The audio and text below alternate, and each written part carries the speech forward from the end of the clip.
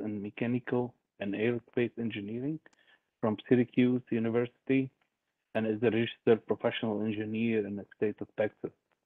During the past six and a half years uh, of Baumic experience, professional uh, tenure at uh, Hudson Products, uh, has focused on R&D and thereby helped bring new and improved industrial axial fans products to market. Uh, he has also provided support to design optimized fans and troubleshoot performance and vibration issues for ACC, uh, cooling tower, and heat exchangers. So, uh, uh, uh, please go ahead with your presentation.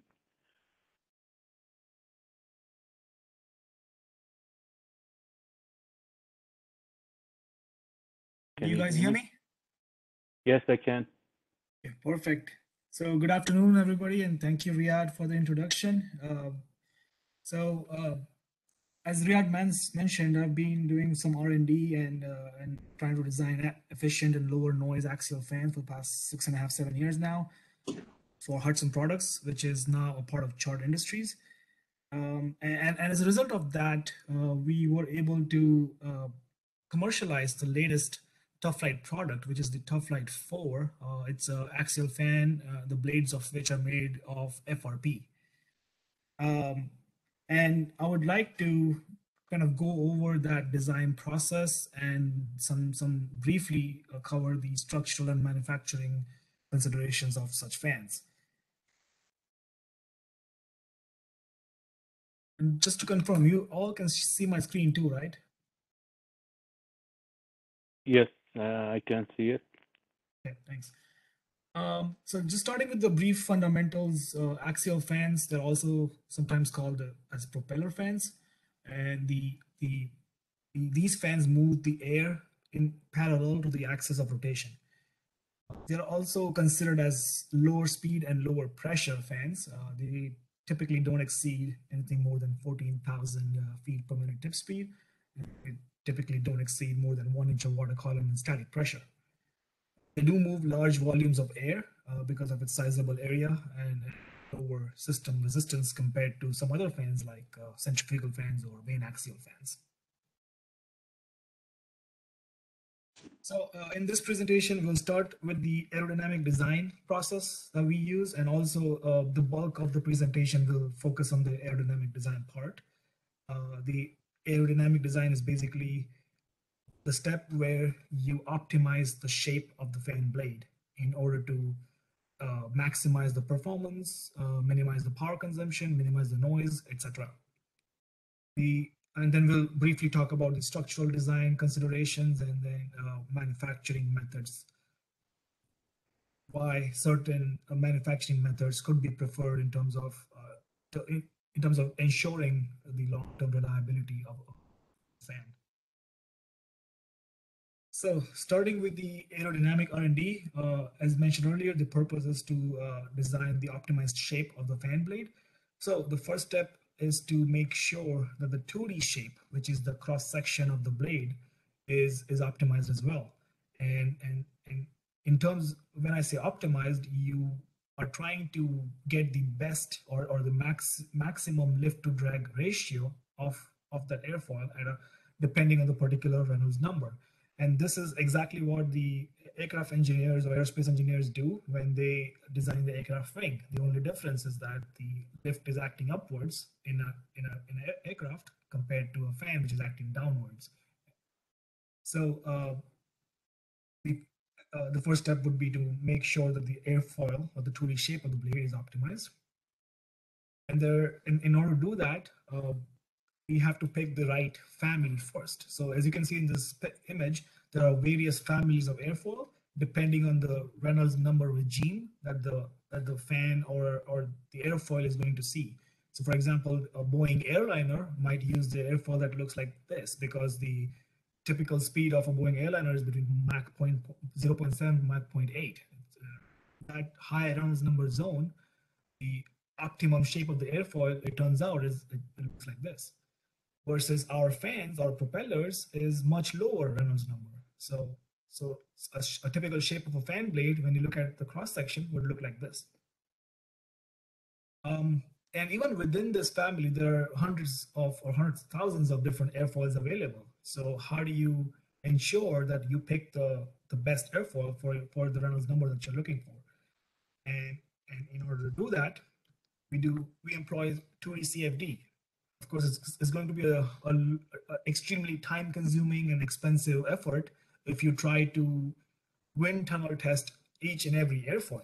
So uh, since nowadays CFD has become uh, widely available uh, and, and also automated parametric optimization has also become widely available, it's easier to perform CFD analysis and ensure uh, that the airfoil that you pick for a blade is, is optimal.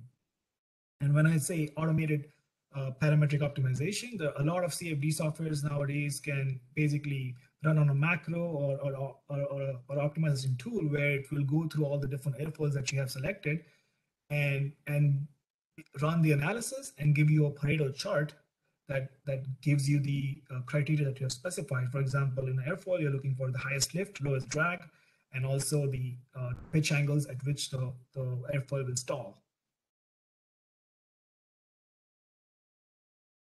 So um, once you have the uh, airfoil selected, you can go on to design the 3D model of the blade.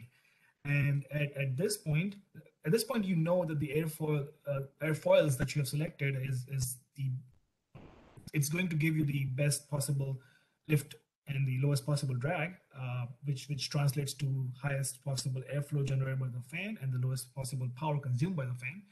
But you also are trying to ensure that the uh, pressure distribution or the velocity distribution across the length of the blade is, is as uniform as possible.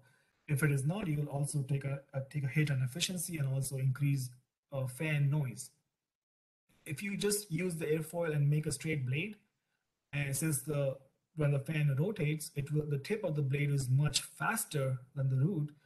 The the pressure distribution or the velocity distribution will look something like this because uh, it's a straight blade and the velocity is uh, decreasing as you go from tip to root.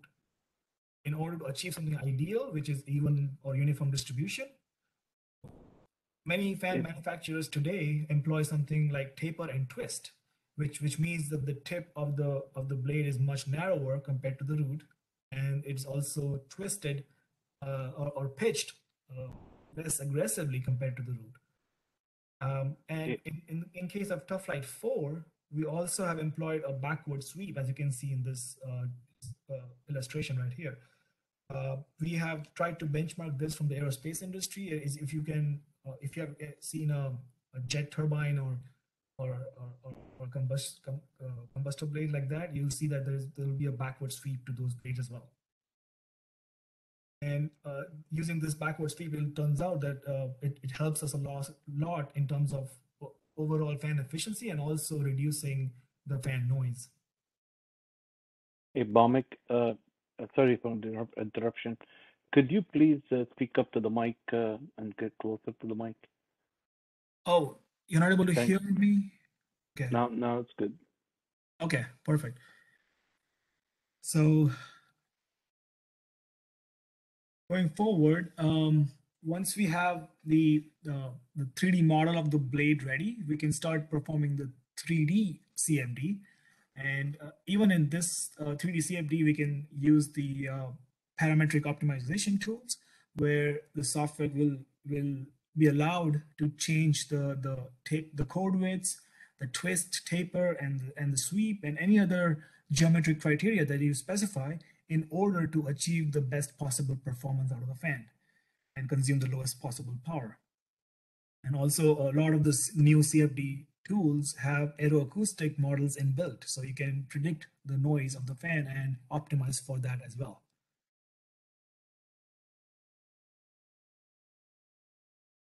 Um, after the CFD analysis is completed uh, and you have a, a, a very optimized design, the next step would be to perform wind tunnel or, or experimental test to validate the CFD.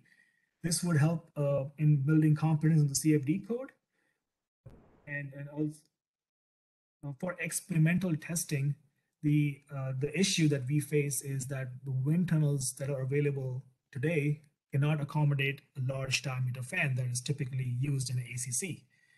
Um, so in order to test such fans, we uh, fabricate a much smaller but geometrically similar fans that is tested in the wind tunnel.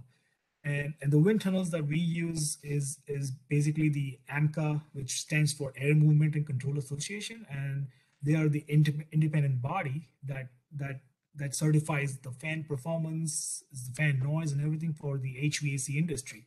So they have a, a long established standards for, for testing fans and for uh, predicting fan noise.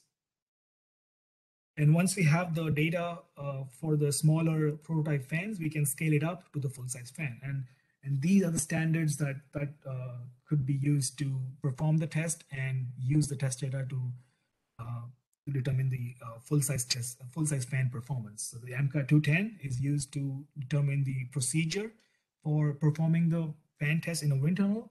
AMCA 301 is used to determine the procedure to perform the noise test and the 802 is used to uh, uh, translate the data from the wind tunnel test to the full size uh, fan using dimensional analysis and scaling laws.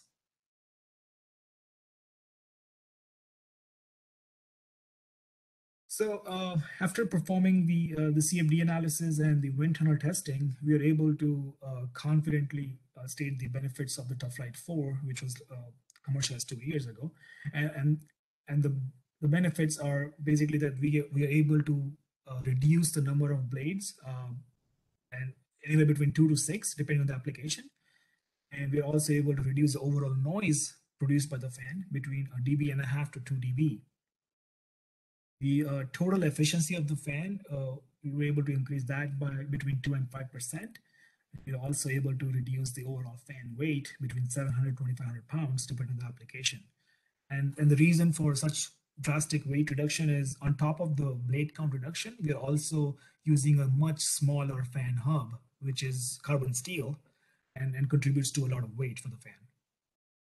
Um, we also found that uh, the overall blade pass frequency, uh, I'm sorry, the blade pass frequency vibration that, that you all, anybody who's measuring vibration on a fan will know that blade pass frequency is a, a primary component uh, of vibration we are able to reduce that significantly uh, and because of the backward sweep. As you can imagine, anything that is stationary above or below the fan uh, and the interaction, the aerodynamic interaction between the blade and that stationary component is what contributes to blade pass frequency vibration. Because the because of the backward sweep of the blade, the entire length of the blade will not go over that stationary component at the same time, which which helps reduce the blade pass frequency vibration. So uh, moving on to the manufacturing process, uh, we use the RTM method, which is uh, resin transfer molding. And the reason we selected this method for all our fan blade manufacturing is because this is the method uh, which helps us design a single piece or a monolithic blade. Um, if you can imagine uh, what, what we discussed earlier in the aerodynamics R&D is every blade has to have the, the twist taper, and in this case, even the sweep, in order to uh, make the blade as efficient as possible.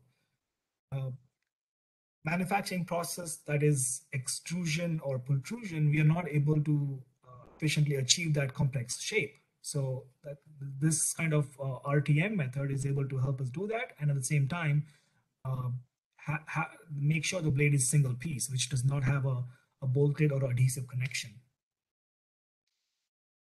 So the manufacturing process for the Tuf-Lite blades we make is uh, is uh, basically using the mold tool where the operator will do the hand layup of fiberglass. Um, and then after the layup is complete, we, we will basically close the mold and inject air into the center portion where there's a bag inflating. And that inflation of the bag and the pressure will uh, make sure that all the fiberglass is pushed to the cavity of the mold forming the shape of the blade. Once that is complete, we'll inject resin inside, inside the mold um, at, about 130 degrees Fahrenheit. That's the, the temperature where the resin still remains liquid. Once that is achieved, we'll use the temperature control unit to increase the temperature of the mold to around 220. In this case, uh, or in, at which temperature the vinyl ester resin that we use will cure and become solid. So that, that's the process that we use. And the once we open the mold, we'll have the uh, solid composite uh, FRP blade. And then we'll do some post processing on that. Um, so while we are waiting for the manufacturing equipment, uh, we'll of course start with the uh, simulation for FEA to make sure that the fiberglass that we uh, use or the number of layers, the, the type of fiberglass that we use is uh, going to withstand the dynamic forces in the field. And uh, the way we do that is uh, the, the forces, the aerodynamic forces are imported from the CFD software to the FEA software and we were able to map the, loads on the blade surface.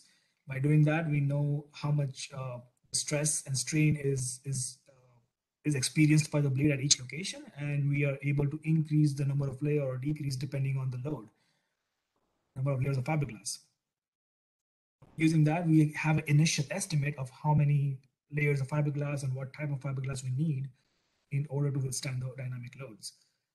Uh, once we have the mold and all the manufacturing equipment, we will start with that layup that the FEA helped us determine, and then start doing destructive testing. Uh, and we'll talk a little bit more about that in the next slide. But only after the, the destructive testing is, is successfully completed, we are able to uh, qualify any new blade design, any new structural layup, or any new resin system.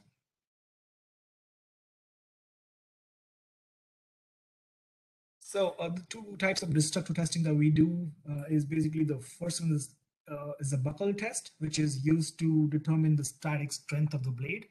Uh, in the picture, you can see just a cantilever blade, just like how it would be installed in a fan, and we'll apply a static load at the tip of the fan blade. And uh, we have a minimum and, uh, and, a maximum criteria where the blade has to withstand a minimum buckle load before the blade buckles and it cannot deflect more than a maximum value. So either of these two criteria are not met, we go back to the drawing board and add the number of layers, uh, fiberglass layers, uh, depending on uh, how much more strength we need and, and where we need, and, we do the same test again. On the endurance test, so once the buckle test is qualified, the next step is to do the endurance test, test where we determine the dynamic strength of the blade.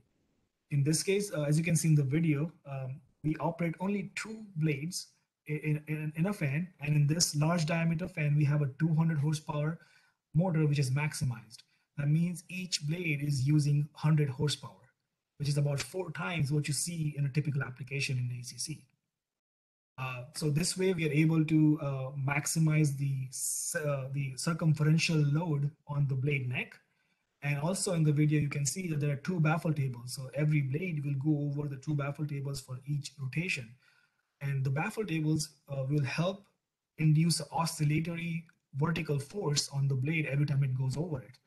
So uh, the combination of these, uh, the circumferential force induced by the extreme horsepower loading and the vertical force induced by the baffle tables, we are able to accelerate the fatigue life of the fan blade and we have a minimum number of hours that we uh, each blade design or each new layup has to pass in order to be qualified for commercialization. So um, with that, uh, I really appreciate your time. And uh, if you have any questions, feel free to ask me now or feel free to email me or, or call me about fan questions, vibration, performance, anything. Thank, thanks, Bhawmik. Uh, that's very interesting uh, presentation. Um, I have a question. You you mentioned, and and it's remarkable that the uh, weight reduction that you have seen uh, between 700 uh, pounds to 2,500 pounds, I believe, on yes, these fans. Yes. where do you see? Where do you contribute that uh, reduction? Uh, do you so see uh, majority of the, the reduction blade? is? I'm sorry. Go ahead. Yeah, I was gonna say in the blade material manufacturing, size, uh, shape, and of course the reduction of the hub as well. But what do you, where do you see the most? The uh, most is from the hub. Because the, reason for that is uh, because the previous generation Tuf-Lites used uh, extremely large diameter hubs and a smaller blade. And as you can imagine, the metal, which is carbon, uh, the, the, hubs are made of carbon steel, would be much heavier than the FRP blade. hmm And you reduce the number of blades as well, even As though that is it's, uh, correct. Yes, okay, to reduce the noise, of course. And uh, so now with the with the one one blade, the one piece blade that uh, uh, has been been tested for how long so far? So the single piece blade we have, it's been in the market since 2002. The top Tuf-Lite 3 is also a single piece blade. And, Okay. and Tuf-Lite 4 is a single piece as well. The biggest difference is the surface area of the blade and the backward sweep that you can see. As you can see in this picture right here, it's the, Yeah. the blades are swept backwards. On the backward, but yeah, okay. All right. Uh, we have a question from Gary uh, Mirsky. Uh, go ahead, Gary.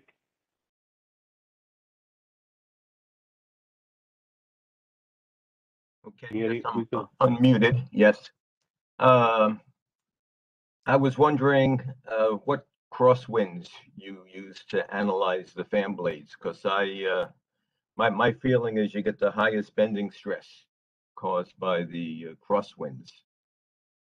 Right. So in the in the initial CFD analysis, we we haven't uh, introduced a crosswind component for fan performance only. But lately, I, I understand that a, a lot of customers are experiencing uh, uh, fan failures because of that. So we did uh, introduce that and map the forces uh, of such non-uniform loading. But the good news is that the layup that we have already designed is is able to meet such non-uniform loads as well. Excellent, thank you. Okay. We yeah, we have thanks Gary for this question. We have another question from Jeff Albert. Go ahead, Jeff.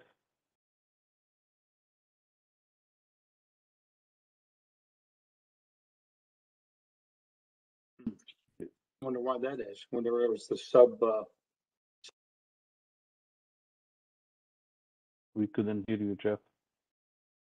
Could you repeat that, please?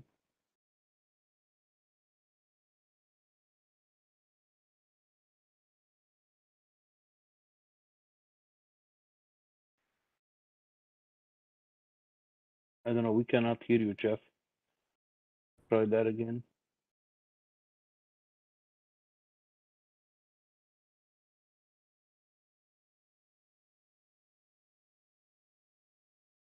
Okay, I'm gonna I'm gonna ask Jeff question here. Uh, Jeff was asking, how do you allow for tight tip clearance in actual cooling tower or ACC installation versus test bed uh, that you have in the in, the- in the presentation? tight tip clearance is that what you said Yeah, it says tight tip clearance. Okay i'm not sure if i understand the question exactly but in uh, if in cfd and also in wind tunnel testing when we do performance tests there we try to achieve ideal tip clearance as much as possible and the and the correction factors that we employ in our selection software is using the uh, the tip clearance clearance ranges specified in API and CTI. So we already have correction factors uh, employed for that for the worst case scenario. For example, a 34 foot fan, according to I guess it's a CTI standard, the maximum tip clearance should be no more than two inches. So we have already corrected for that. If if you have a tip clearance more than that, then there would be an exponential performance reduction because of tip leakage. Okay. And and again, the size of this fan is 36 feet diameter. Thi- This fan, the maximum diameter is 30 feet, 36 feet, yes. The smallest is 26 feet. 26 and 36. Yeah, Uh, so anywhere between 26 to 36 feet is available today. I see. Uh, let's see if we have another question here.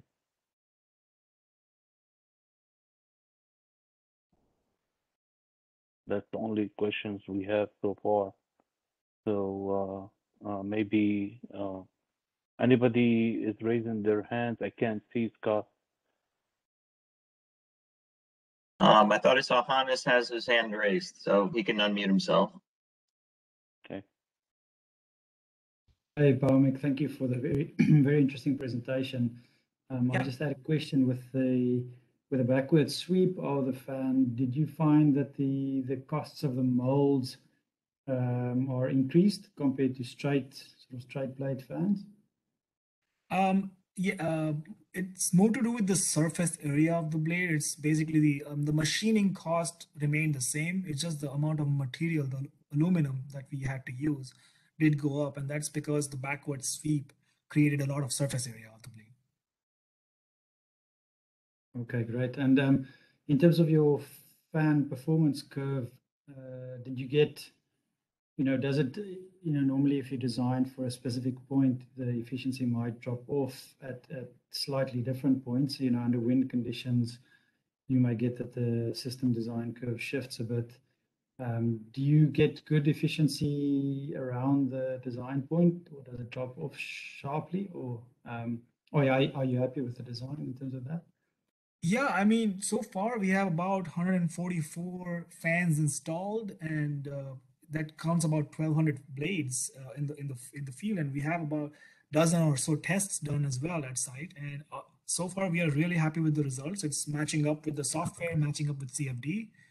Um, the maximum wind speed that we uh, basically don't test if if the wind speed crosses above 10 miles an hour we don't perform the test because it kind of does not relate to uh, the accuracy of the test is not very good. So yeah, I mean, uh, as far as we the the wind is below 10 miles an hour, uh, the performance is uh, is really comparable to the software. Okay, thank you. Uh, any more questions for uh, uh, Baumic? I guess, uh, man, uh, that was perfect. Uh, we are on time. Here, thanks, Baumic, for your presentation. Yeah, Uh, we appreciate that. Thank you.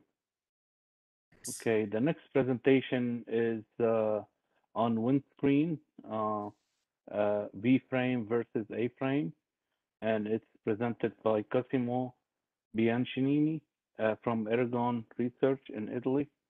Uh, we have uh, Cosimo here, um, is executive at Ergon Research, where he has been working for about nine years as CFD specialist and software developer.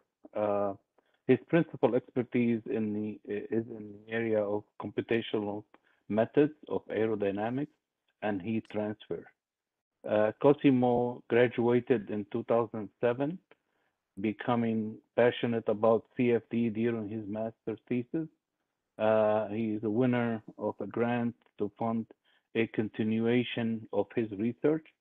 He obtained a PhD in 2011 at the University of Florence with a thesis on advanced boundary conditions for CFD analysis of heat transfer and aeroacoustic uh, and aeroacoustics. Uh, Cosimo started studying the aerodynamics of air-cooled condensers in 2015, and since then he has completed numerous projects on mitigation strategies for wind effect on air-cooled condensers, air-cooled heat exchanger, and cooling towers aerodynamics, uh, uh, aerothermodynamics, and their effect on near-field equipment. So, Dr. Cosimo uh, Bianchini, please uh, go ahead with your presentation. Thank you. Thank you, Riyad. this presentation is about uh, uh, a work that we have been doing together with our partners at Babcock and Wilcox and Galebreaker on the effect or the capabilities of windscreens to mitigate the detrimental effect of wind, both on A-frame and V-frame ACC. So the motivation standing behind this uh, research is related to the fact that uh, uh, the V-frame are uh, intrinsically believed to be more resistant to uh, wind effect um, compared to the standard uh, or more standard A-frame layout. This belief is related to the position of the fan, which is more protected um, but uh, only a few studies are uh, available in literature so far about the aerodynamics of the um, induced draft ACCs with uh, significant wind. Um, so far, uh, I've seen uh, no uh, comparison which actually are made um, at the same condition for A-frame and V-frame layout to better assess these um, higher resistance to uh, wind effects. Uh, little is known uh, for the, the mechanism that generates loss due to wind for the V-frame layout, in particular the effect of the wind on the flow rate, at the fan, and on recirculation. Furthermore, also the effect on large assemblies uh, is not completely understood yet.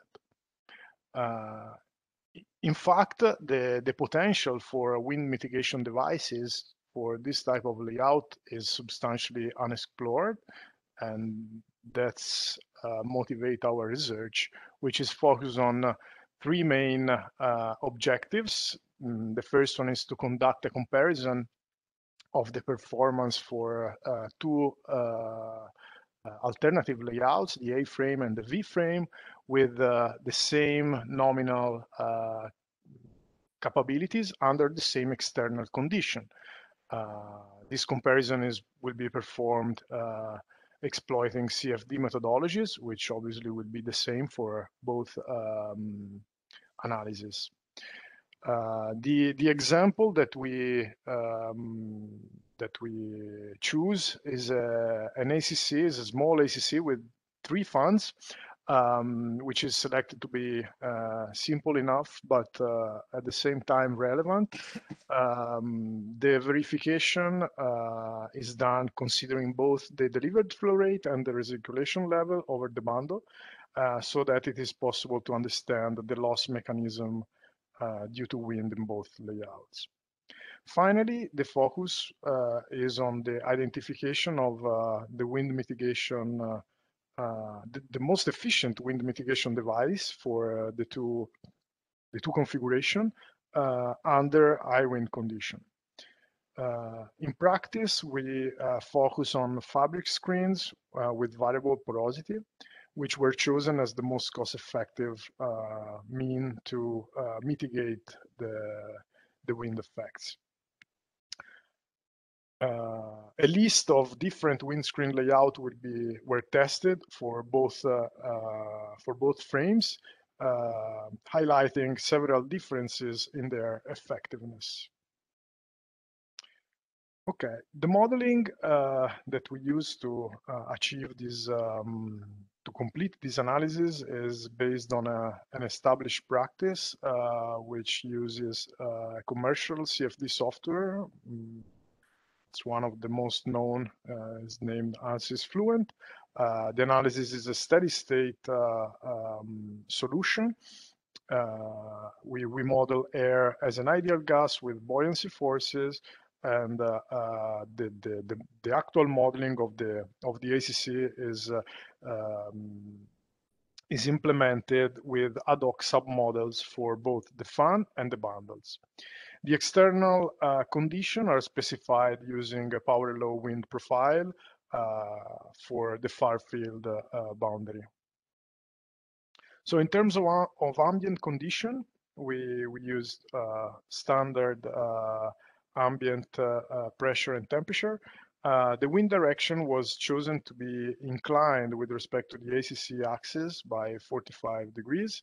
This um, this direction is conventionally associated with the southwest, so that uh, you will see in the next uh, um, in the next slide the the way we um, we we present the the results. We perform this analysis at two wind speed level, one characteristic for a low wind day, which correspond to one meter per second nominal uh, uh wind speed, and the other one which correspond to a high wind day, which uh, is characterized by 8 meter per second uh, wind speed. So this is uh, an overview of the of the problem we we are solving. We have the A-frame on the left-hand side and the V-frame on the right-hand side, uh, the, the, the bundles are um, well the ACC is obviously um, composed by three different fans. Fan number three is the one that is positioned on the windward side, uh, and uh, the bundles have both an upstream side and a downstream side, which we would see later on uh, behaves quite differently in the two uh, in the two layouts. Concerning the wind profile, um, as we said, the power law uh, expression is imposed in the far field uh, boundary. The, the y here is directly the distance from, from ground. Um, the, the, the, two reference velocity were already mentioned are 1 and 8 meter per second. Uh, these conditions were specified at 10 meter above ground, which is the common anemometer height. As an exponent, we use 0.2, which is uh, uh, which was proposed in literature for stable boundary layer over rough surfaces. This is a very uh, large sketch of the computational domain. In fact, we have uh, um, a boundary which is the southwest with, with uh, uh, imposed velocity profile, as we mentioned. We have um, opposite to the southwest, we have the northeast boundary, which is a pressure outlet where the, the, the, air can, can flow out. The same as what happened on the, on the top of this box, uh, which is pretty large, is in fact uh, uh, almost, uh, well, half kilometer um, per half kilometer, uh, and it's 300 uh, meter um, tall. the, the two sides, the northwest and southeast sides, are actually um, free slip uh, uh, walls, which means that the, the air cannot uh, enter or exit from these sides, but no friction is applied on this. ground is instead a fully viscous wall. The geometries for the uh, two ACCs considered are depicted here. Uh, in red, we have the bundle surfaces, while in, uh, in yellow, we have the, the fan surfaces. Um, some of the wind walls are obviously uh, made transparent to better uh, understand the inside of the of the model. Um, Okay, the, the next slides are uh, providing some insights on the submodels that we use. In this case, we are discussing the, the fan model. The fan model is, uh, in fact, a pressure jump, which implements a sudden pressure rise uh, on the thin surface characterizing the, the fan position. Uh, the pressure rise is specified as a function of the normal uh, velocity at the fan um, at the fan surface, uh, which is uh, provided by the fan manufacturer. Uh, we use uh, piecewise uh, functions to specify this um, this behavior, and we extend the the, um, the curve towards the the low flow rates regime to to also have a stable solution in this uh, uh, in this range. As you can see, the the two curves for the A frame and V frame are slightly different, but substantially uh, have the same type of uh, um, of behavior. The the duty point is slightly higher uh, for the for the V frame in terms of uh, of flow rate, as the density is is lower.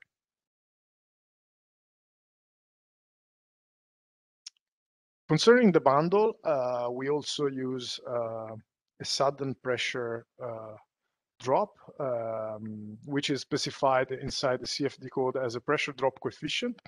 So uh, by specifying two different uh, coefficient, K1 a proportionality coefficient and an exponent coefficient, uh, we were able to develop um, the, the, the, resistance curve for the for the bundle as a function of the air velocity uh, at the bundle itself. The bundle also needs some treatment for the, the thermal behavior. The thermal behavior uh, also consider uh, off design condition.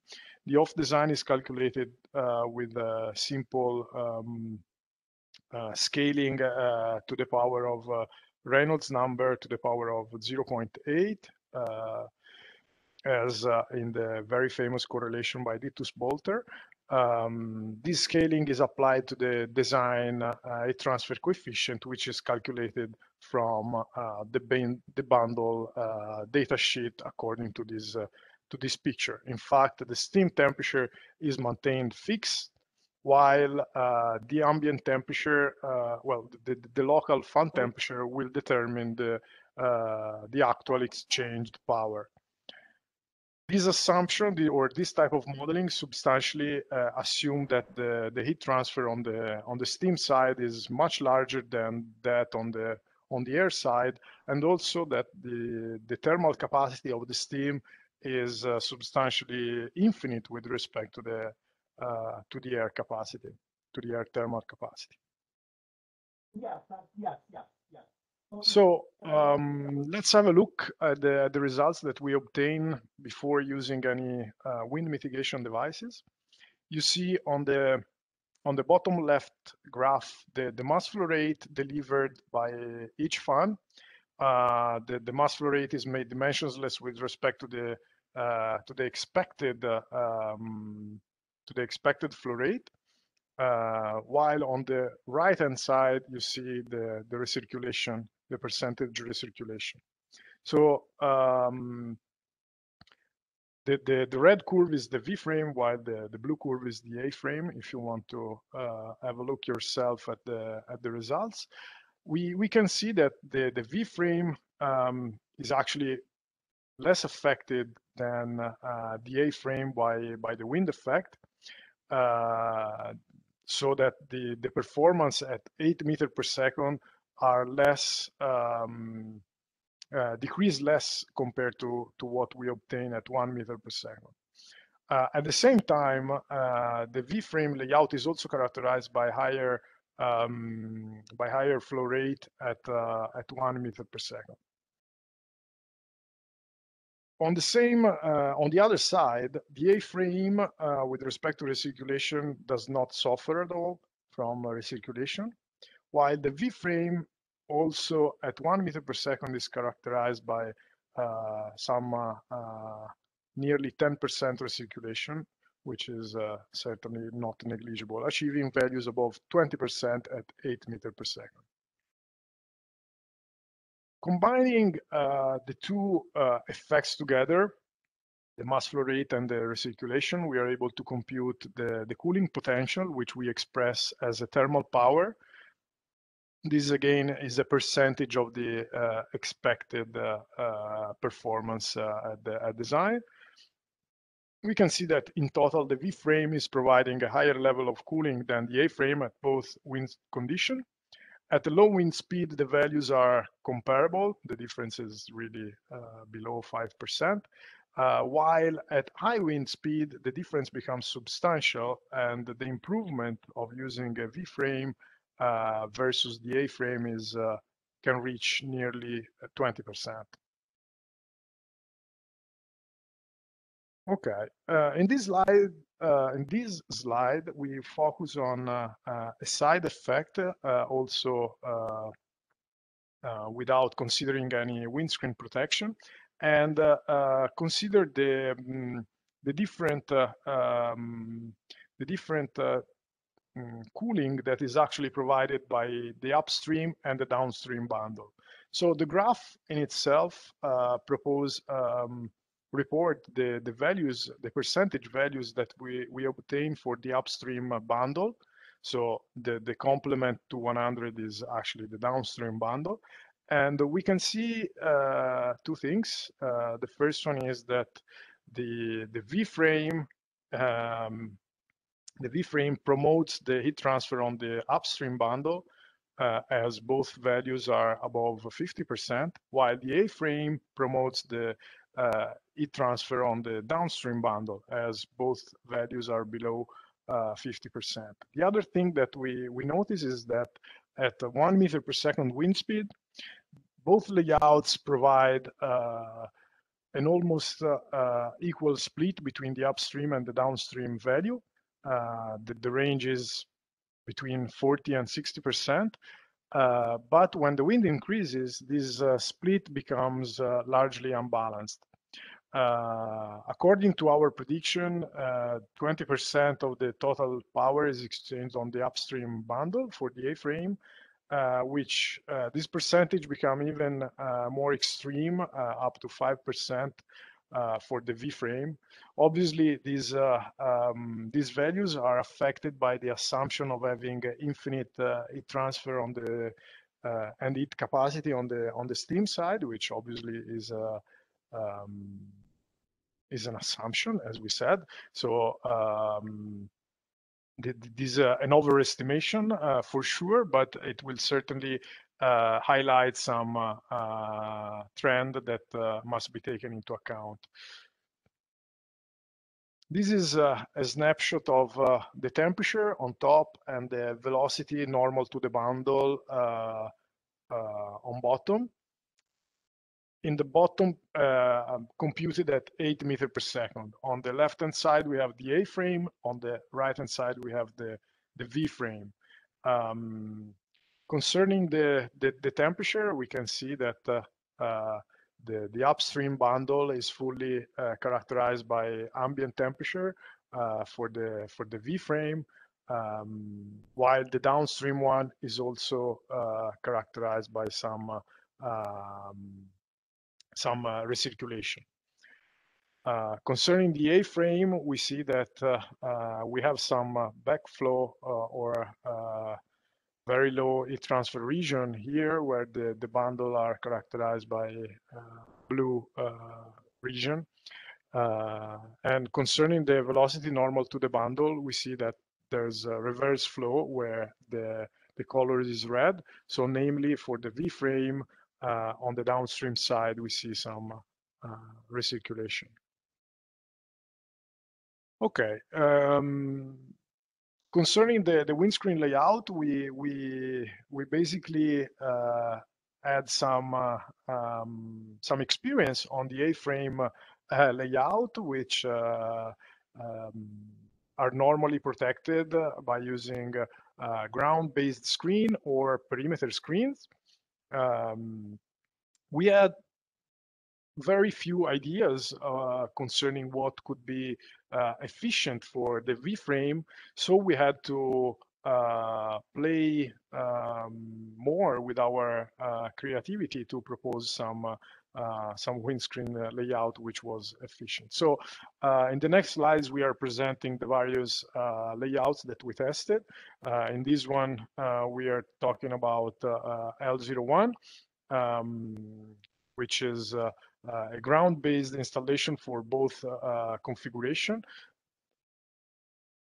L02 instead is uh, a suspended configuration for both, sorry, for both configuration, as you can see here.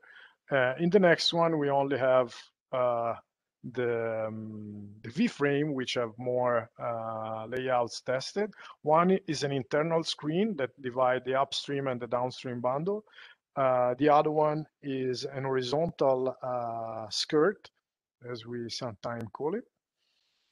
And finally, we have some variation on vertical screen, which consider uh, only vertical, a combination of vertical and horizontal screens uh, together um, with the porous and solid uh, screens.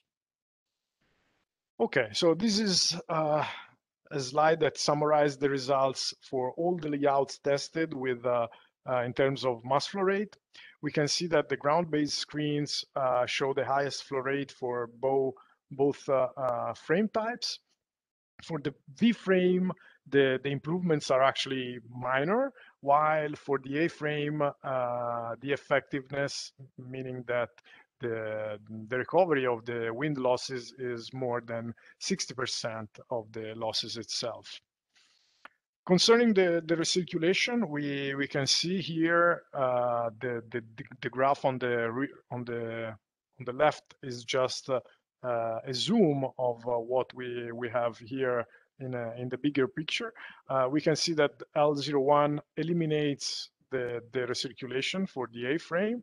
Uh, for the V-frame, um, the, the improvements are not really substantial uh, for the um, in reducing the, the recirculation. So we still have a recirculation above 15% with all the tested layouts. Combining the, the two effects, we see that uh, uh, the best layout, uh, meaning the, the one that provides the highest thermal power, is the L01 configuration for the A-frame and a combination of L04 plus L05 for the V-frame, which is the the cross um, dot uh, in the in the graph on the right hand side. The the gain that we we are able to achieve compared to um, L00 performance is 20 plus 22% for the nominal of the nominal thermal duty for the A frame, uh, but it's only 6% uh, for the V frame. We will see that. Oh, sorry. Uh, this is the the next uh, the next slides that uh, uh, analyze the same the same results shown in the previous slide, but in terms of windscreen effectiveness. So we can see that the A-frame achieve with L01 an effectiveness close to 60%. For the V-frame, the effectiveness is only um, slightly above 20%. And this is uh, an explanation of why the L04 plus 5 is more uh, is more capable of uh, uh reducing the, um, the recirculation and improving the, the performance so that the the, the region uh, right behind the, the V-frame ACC is characterized by a lower um, a, lower uh, hot air region thanks to the lower uh, recirculation zone, which do not interact with the, with the plume. Um, this is uh, the, the, the, summary of, uh, uh of our investigation and uh, takes uh, into account the, the no screen configuration in, in blue, together with the best screen um, highlighted by this analysis and consider just the high wind um, condition.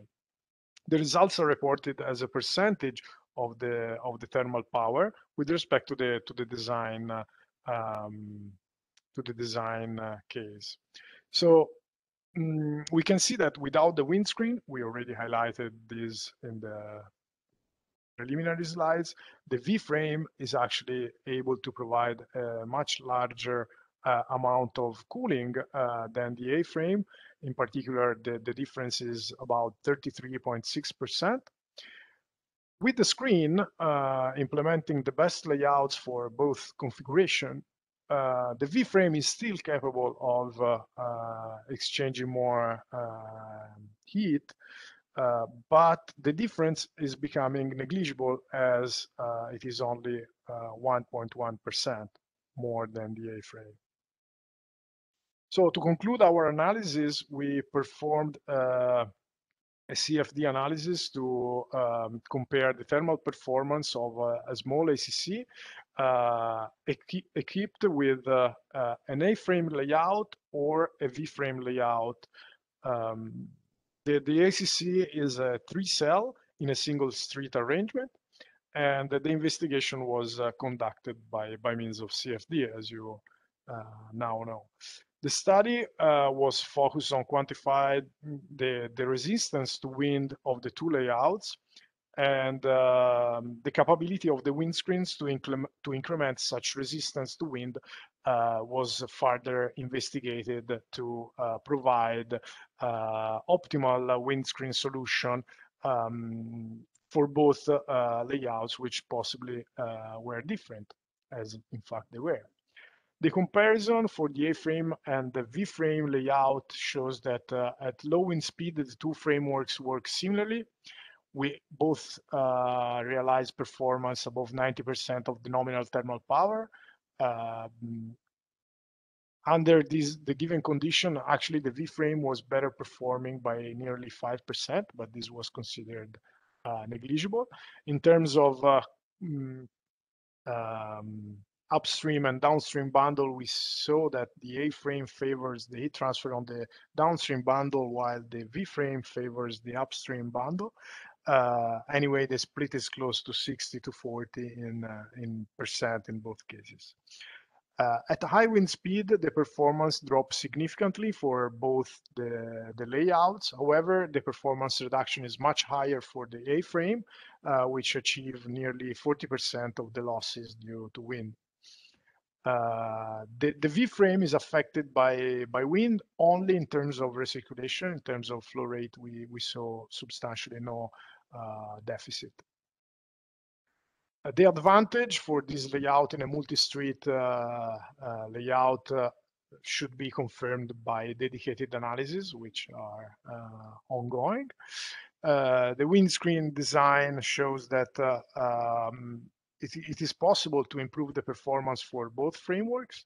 For the A-frame, the ground-based screen recover nearly 60% of the wind losses, for the V-frame, um, the, the top mounted screens combining horizontal and vertical screens uh, recover 22% of the wind losses.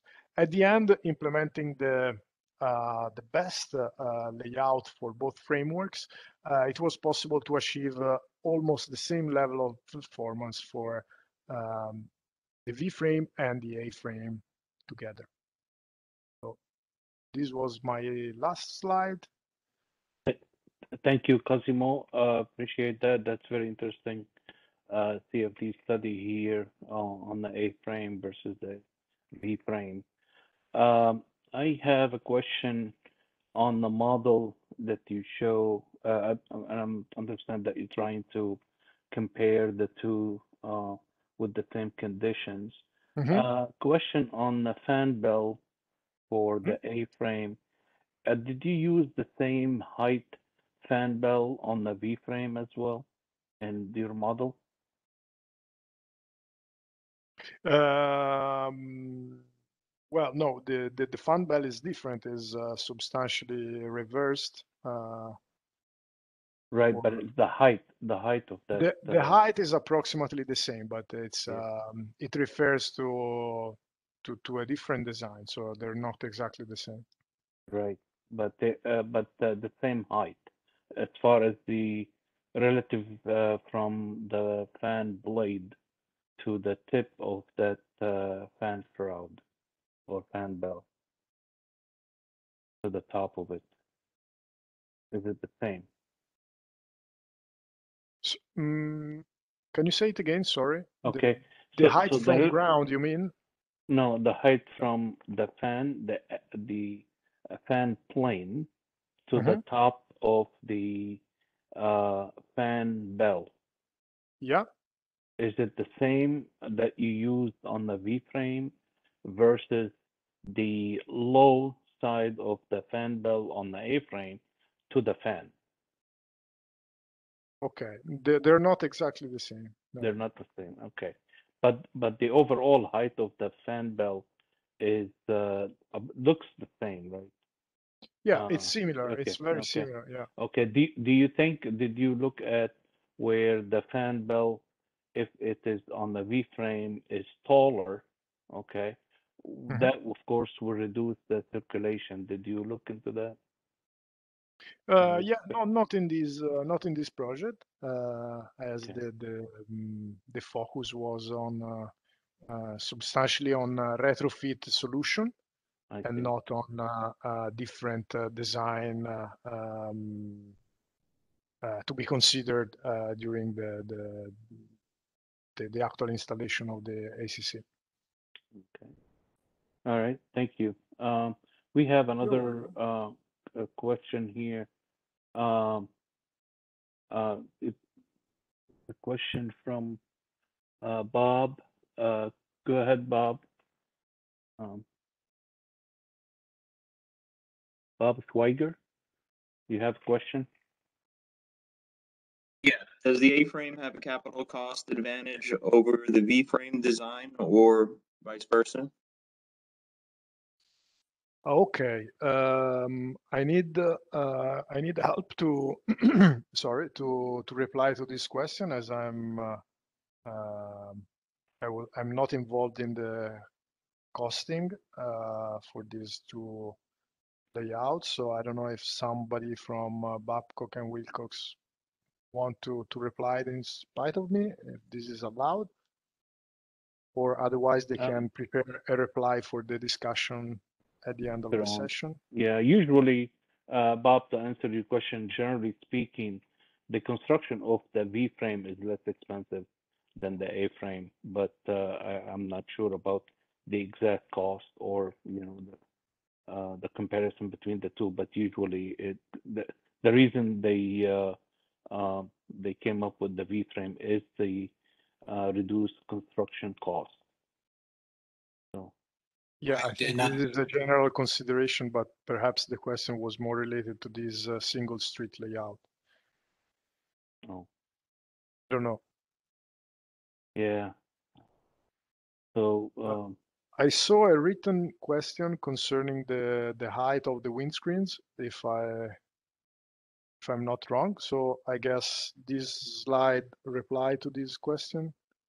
Yeah. Am I right, Riyad? Uh, I don't see the, the the the chat. I just saw the the notification before.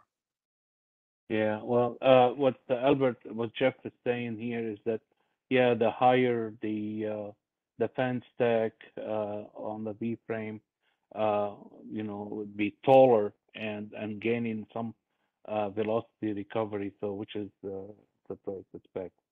So that's correct. Yeah. Um, here we have a question from Raghu. Um, go ahead, Raghu. Yes, so I was just wondering about the height for the L05 configuration.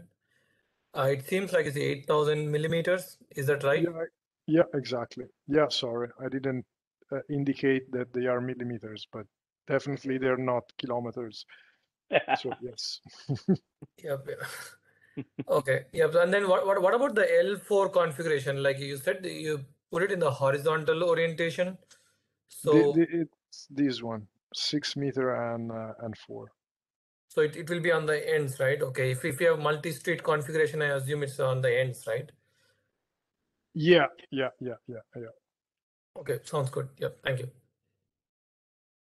Thank you so much uh, for your questions. Uh, thanks, uh, Cosimo, for this interesting uh, presentation. Uh, Thank we you. appreciate it. Uh, we're gonna move on now to uh, the last uh, presentation today. Uh, we go uh, to performance comparison between the co-current and counterflow ACC tubes, and uh, and presented by uh, William Davies uh, from Exponent USA. Uh, Bill, Dr. Bill Devi, Davies uh, is a senior engineer in Exponent Thermal Science prac- uh, practice in Natick, Massachusetts. Uh, Dr. Devi uh, specializes in solving problems related to fluid flow and heat transfer using using both exponential and computational analysis. This includes failure analysis of energy infrastructure, such as uh, condensers and pipelines, in addition to failures of uh, HVAC equipment, appliances, uh, and consumer electronics. Uh, prior to joining Exponent, Dr. Davies was uh, a research assistant at the University of Illinois, where he studied air-cooled condensers using using both experimental and modeling techniques. Uh, his primary focus was investigating the effect of steam flow and condensation on thermal performance uh, of tubes with elongated cross sections. Uh, Dr. Davies is uh, a licensed professional mechanical engineer in California. Dr. Davies, uh, please go ahead with your presentation. Thank you, Riyad, for the introduction. Good afternoon, everyone. Thank you.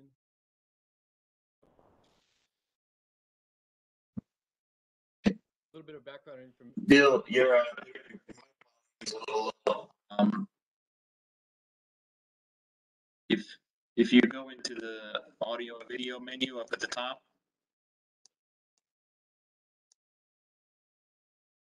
and choose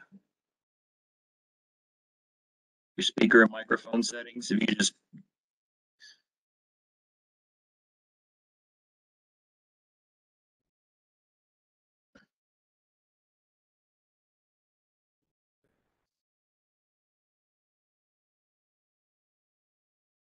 do you see that menu?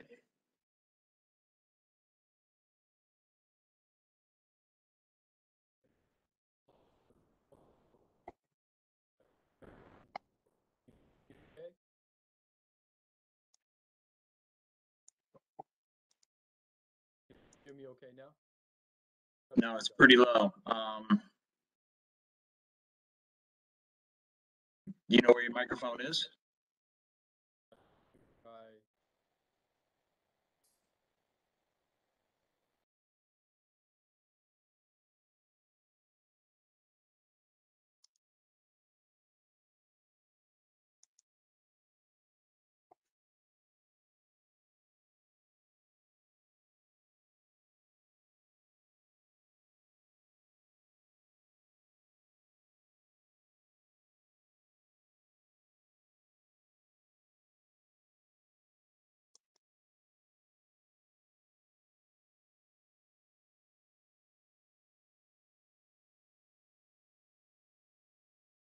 All right, so now you see the microphone.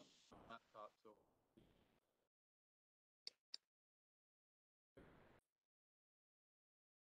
Everyone hear me okay now?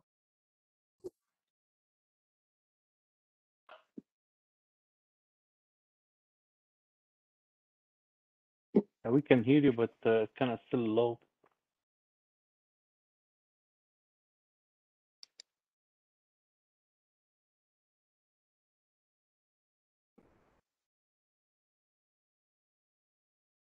Audio and video menu up at uh, menu item up at the top next to view.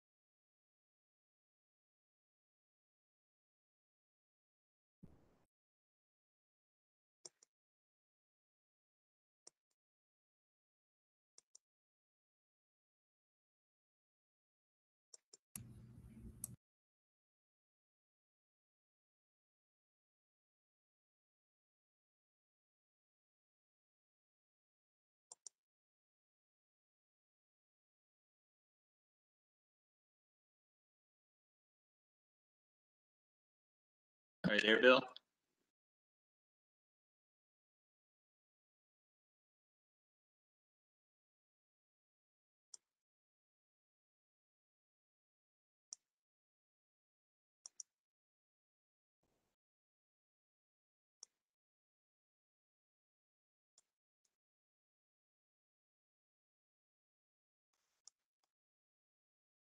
Scott, can you hear me better now?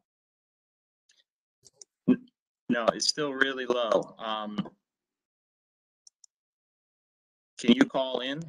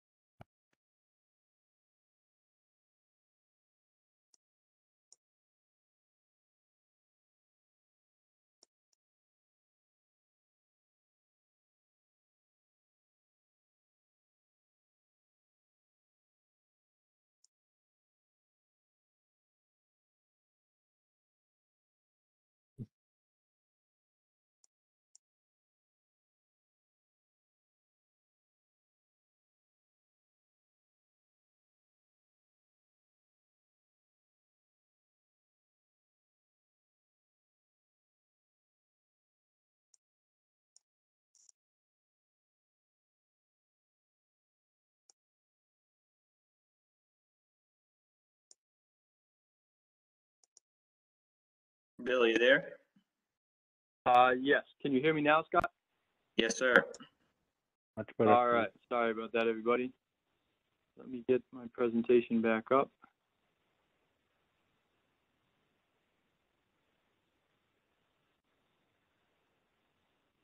Yeah, Bill, just take the time you need. Uh, we go, we'll be going into the discussion. That's fine. All right.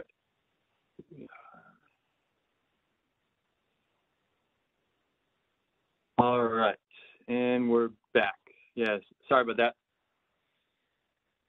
Uh, glad it's working all right now. So, what I'm going to be talking about today is a little bit of experimental work, uh, mainly looking at the performance of actually the inside of the tubes, looking at what goes on with the condensate inside these tubes, and looking at the difference between uh, co-current and counterflowing tubes. So first look at visualization inside the tubes, and then talk a little bit about how this affects the cooling performance.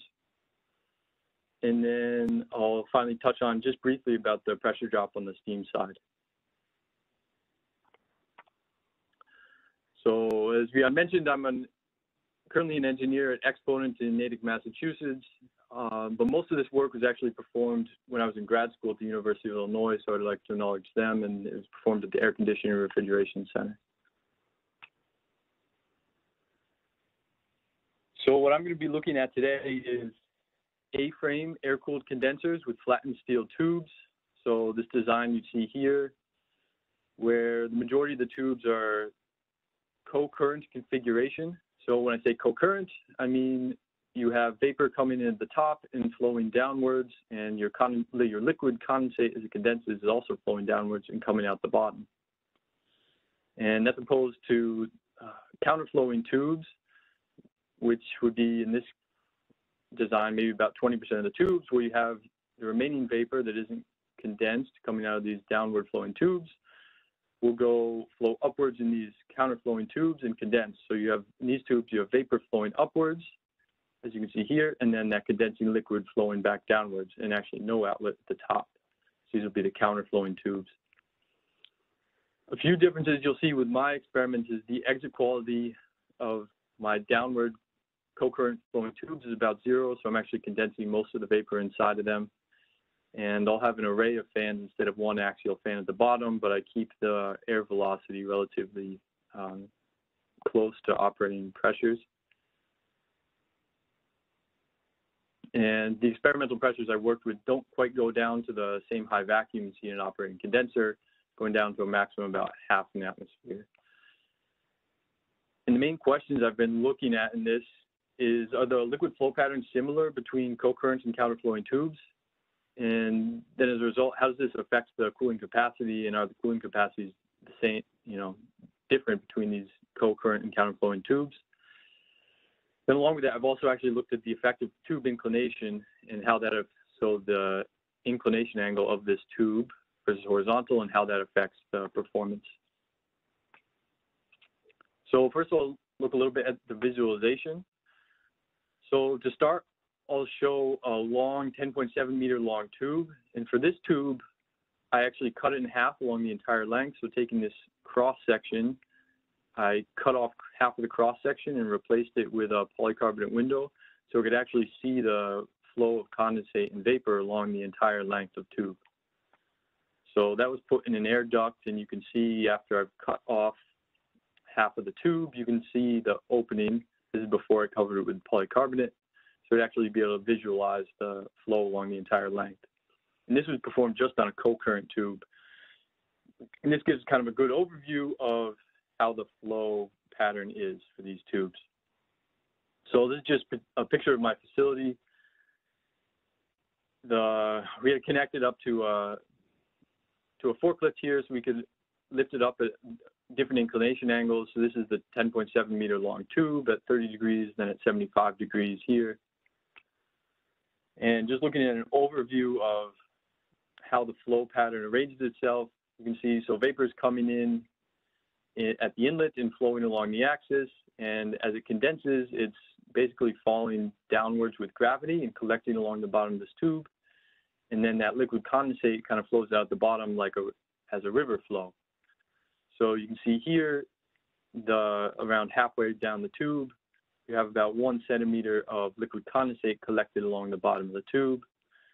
And if we get closer to the bottom of the tube, the that depth of condensate is increased to about two centimeters, and the velocity has increased significantly. But we can see the flow pattern is basically stratified, so all this liquid is basically collecting along the bottom of the tube for the entire length.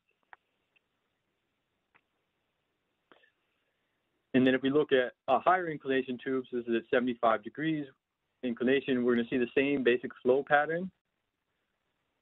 And this is at the bottom of the tube. The main difference are you're going to see a higher velocity of liquid at the bottom of the tube. And as a result, you can see a slightly thinner depth of this liquid at the bottom of the tube because it's flowing at higher velocity. So you need a less cross-sectional area to get that same amount of liquid coming out of the tube.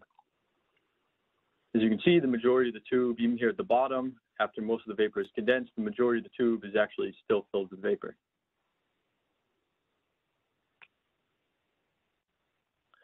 So then to compare co-current and counterflowing tubes, I looked at just 5.7 meter long tubes, much shorter. And for these, I didn't cut them in half. So I had a fully intact, pristine tube that I placed in an air duct.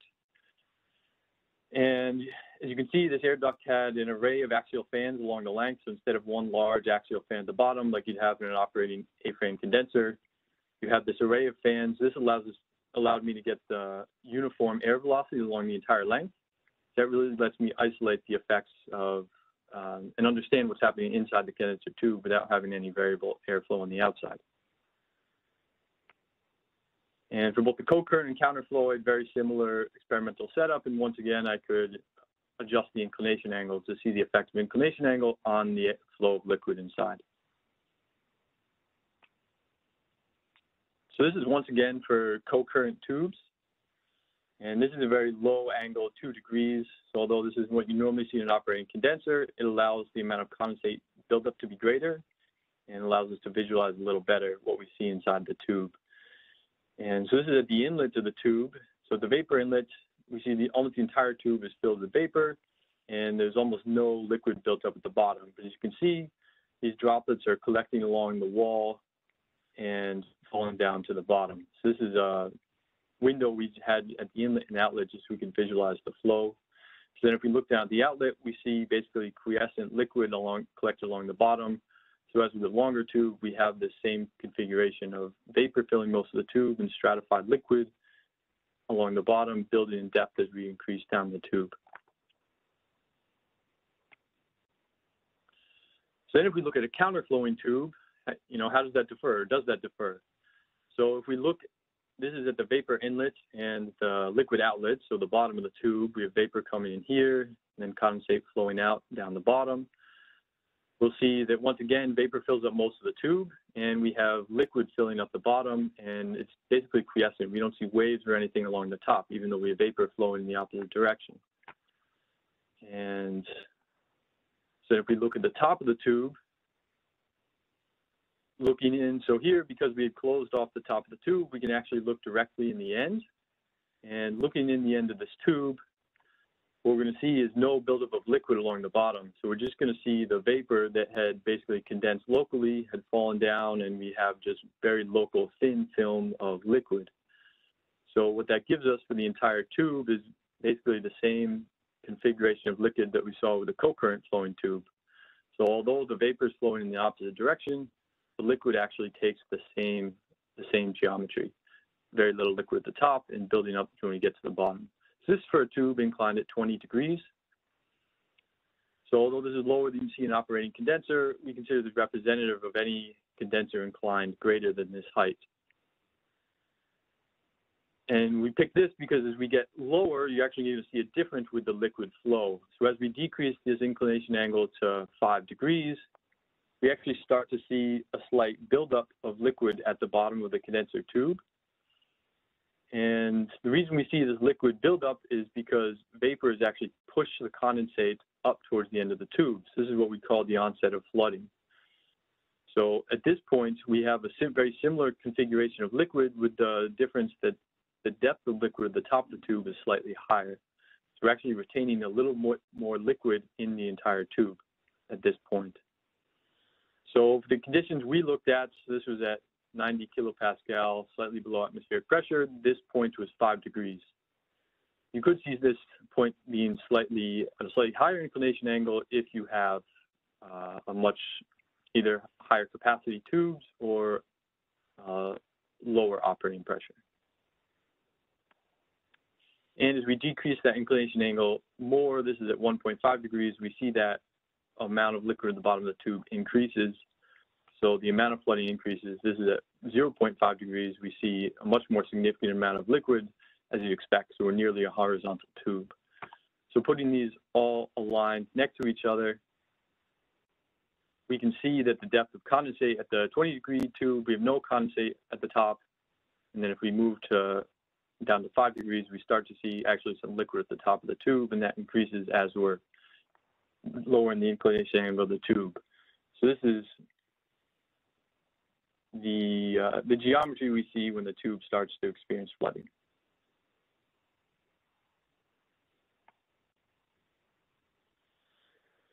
So looking at overall comparison of condensate depth, so this is a tube inclined at 30 degrees inclination.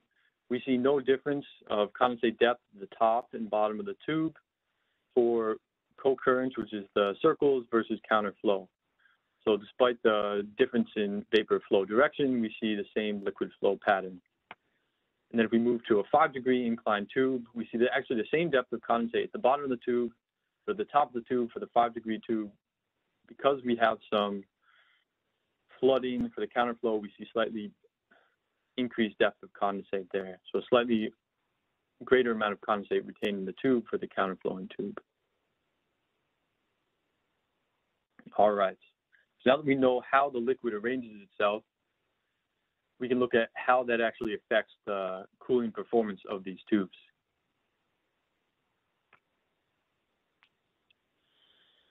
So this is looking at co-current tubes, and I have instrumented these tubes across the cross, I mean along the cross section. So this is looking at one cross section around halfway down the tube.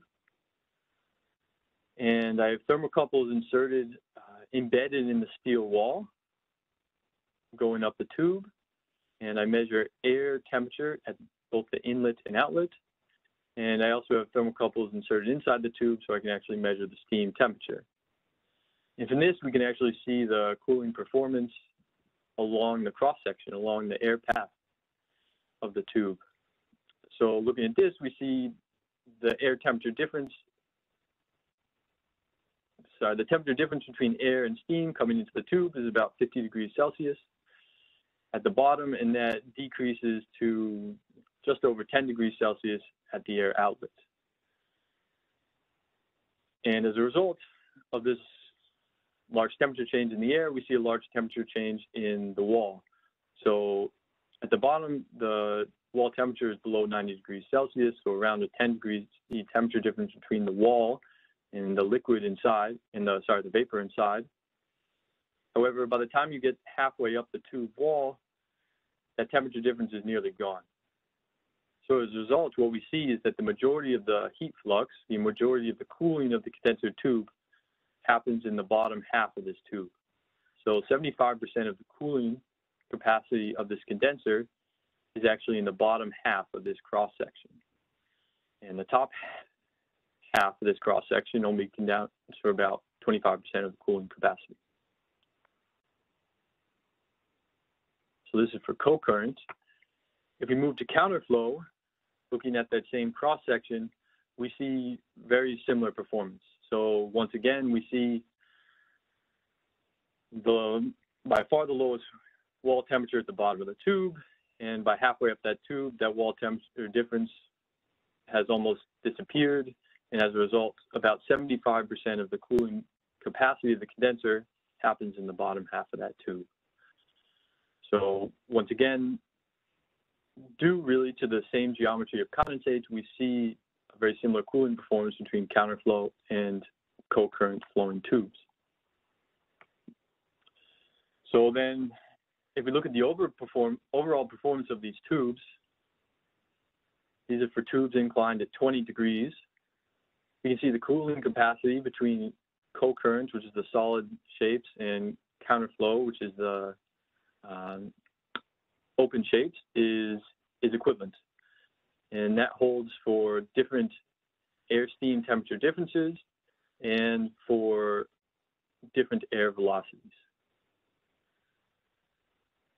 And while there might be some, you might seem surprising from the start, as we've seen with the condensate geometry, there really is no strong difference inside the tube. So if you have the same air configuration, you're going to see a very similar cooling capacity. There is one difference we can note, however, and that's if we look at the effective tube inclination angle. So this is the cooling capacity of these condenser tubes plotted versus the tube inclination angle. And what we can see is that for the counterflow tubes, as the tube inclination angle decreases below 20 degrees, and we start to see flooding in the tubes, an increase in retained condensate, what we see is a reduction in capacity of quite significant, around 10% at the lowest inclination angles. So this shows that if you're retaining more condensate in the tubes, you're actually going to reduce the capacity of those tubes. And this holds for uh, across all air uh, velocities tested, both two meters per second and two and a half meters per second. When we get to the point where we're retaining extra condensate in the bottom of the tubes, we are reducing the capacity of those tubes. And the reason for this is particularly the location where we're retaining liquids. So as we saw before, when we start flooding the tubes, we're actually retaining extra liquid on the bottom of the tubes. This picture at the bottom here. And because we're retaining liquid at the bottom of the tubes, and the majority of our heat flux is happening at the bottom of the tube here, we're actually having a significant effect on the cooling performance of the tubes. So for the non-flooded tube, we have very high internal heat transfer coefficient along the entire cross section of the tube. But when we retain extra liquid here at the bottom, we're actually reducing that internal heat transfer coefficient. We have this liquid here that's uh, preventing condensate, condensation directly along the, the tube wall. As a result, we're reducing our condenser U value at the very bottom and reducing heat flux at this most important area at the bottom of the tube. So that's why flooding, although we're not retaining a large amount of condensate, will have a significant effect on the overall cooling capacity of these tubes.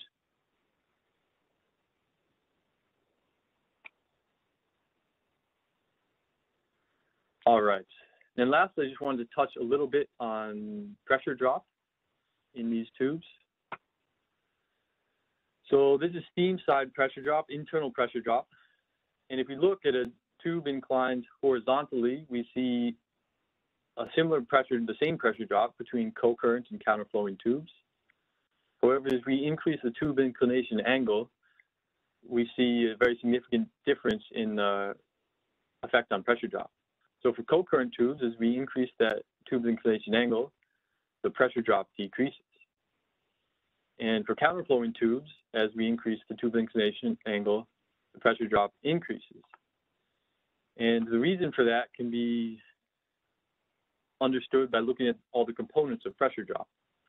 So looking at this bottom chart on the bottom left, we can see the components of the total pressure drop include the frictional pressure drop, so the friction between the vapor and the wall, or the condensate along the wall. Then we have the gravitational pressure drop, which is the hydrostatic pressure that we're overcoming or that's helping us. And the momentum pressure drop of the de decreasing velocity of that steam as it moves through the tube. And we can see for the co-current tubes, the total pressure drop decreases largely because as inclination angle increases, largely because we have the benefits of gravity. As we're tilting that tube downwards, we have the weight of all the liquid and vapor in the tube helping us push the flow downwards. So that's something very simple that gives us the benefits. We also have an added small benefit of decreased frictional pressure drop because we're retaining less condensate in that in those tubes. As you're tilting downwards, as we saw earlier, you're decreasing the amount of liquid in the tubes. It's flowing out faster, so you have less friction between that liquid and the vapor. So between those two effects, you're getting a lower total pressure drop as we increase that tube inclination angle. For co-current, I don't have experimental results, but this is just from our model. The effect is really opposite. So as we increase that tube inclination angle, we're going to have to fight gravity more. So you're going to have to overcome the hydrostatic weight of the vapor and the liquid in the tube as we're flowing upwards. So as you're increasing those tube inclination angle, we're going to have greater pressure, internal pressure drop on these counterflowing tubes. We have a slight reduction in frictional pressure drop because we have retaining less liquid, but that's really overcome by the effect of the gravitational pressure drop. So as a result, for tubes operated at uh, at normal operating inclination angles around 60 degrees, you're going to see a difference between the counterflow and the co-current tubes.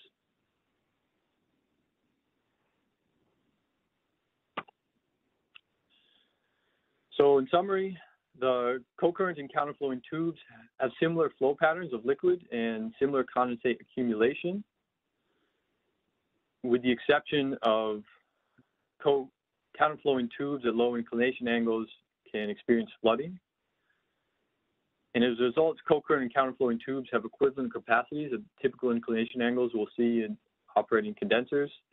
However, as we saw, if you do have flooding in counterflowing tubes, you will have reduction in capacity.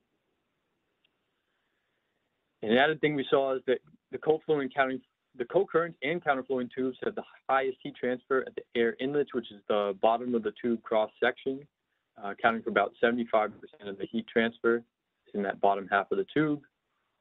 And then finally, if we look at pressure drop, the co-current pressure drop decreases as tube inclination angle increases, and for counterflowing tubes, the pressure drop increases as tube inclination angle increases.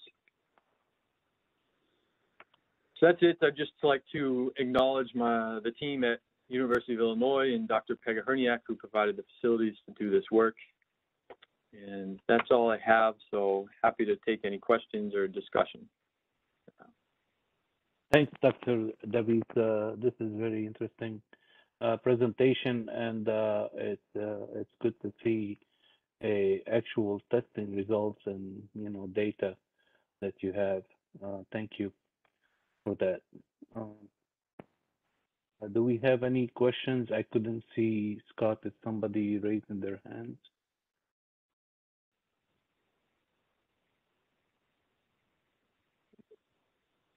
Yeah, uh, it's Barry. I have a I have a question.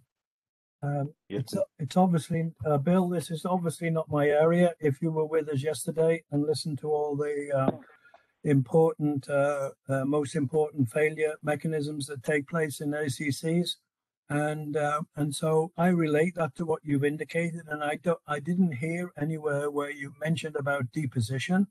So you know, as you have the two as you have the two phase mixture going into the tubes, then that's the most susceptible area at the tube entries, as you saw yesterday, and that's where uh, two phase FAC takes place uh, due to the turbulence at the entry.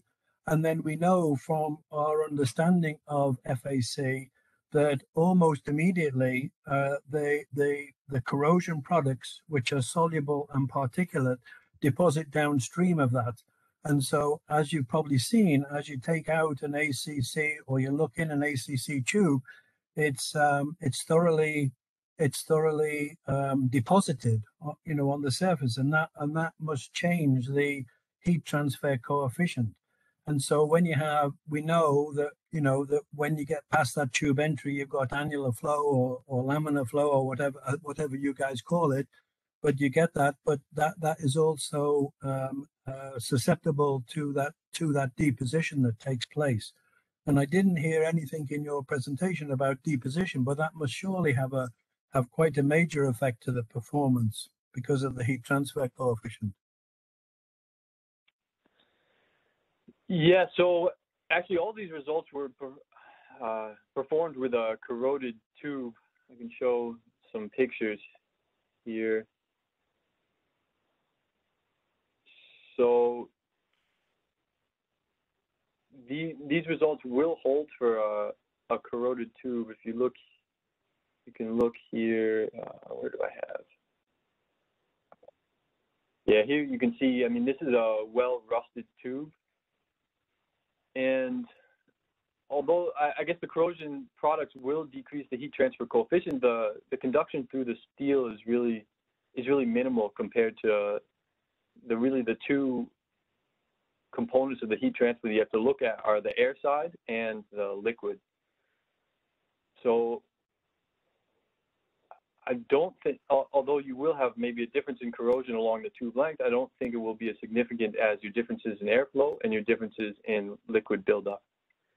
Yeah. Because really that's So, Bill, I think. I think you understand. I think you understand if you listened to yesterday that all the corrosion takes place at the tube entry. There's basically there's basically not sufficient turbulence uh, down down the tube because of the annular flow situation for corrosion to take place past that tube entry. So it's um, very interesting, very interesting situation. Maybe maybe in the future you can include uh, the deposition rate on onto these tubes because when because when we look down them and we have borescopes, we clearly see lots of deposits uh, on them. And the only place they come from in two phase two phase FAC situations is is is right from those tube entries. Yeah. Yeah, that would be interesting to look at for sure. yeah, for mine, I was generally uniformly corroded along the length. If you need any help, just get back to me because we we have probably the biggest database of of uh, tubes in ACC. And uh, if you need any help or clarification, just uh, just let me know. Okay, that'd be great. Yeah, I'd love to discuss more. Thanks, Barry. Thanks, Barry, for the question. Um, and uh, any other questions for Dr. Devi?